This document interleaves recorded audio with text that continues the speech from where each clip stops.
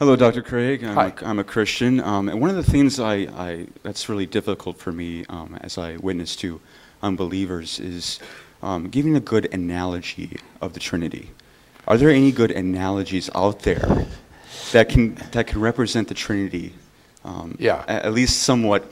Well, I Close, have yeah. one, though it's it's uh, it's sort of controversial. But I, I yeah, I do have one, and I, I lay this out in um, J.P. Moreland in my book Philosophical Foundations for a Christian Worldview. There's a chapter on the Trinity, and I think a good analogy for the Trinity is the mythological dog that guarded the gates of Hades in Greek mythology, named Kerberos. Uh, Hercules, as one of Hercules' tasks, was to go and capture Kerberos, who guarded the gates of Hades. Kerberos was a three headed dog.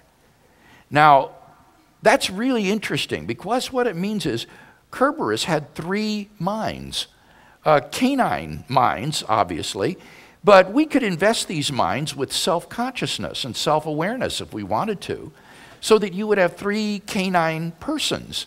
And yet, clearly, Kerberos was one dog, he was one animal.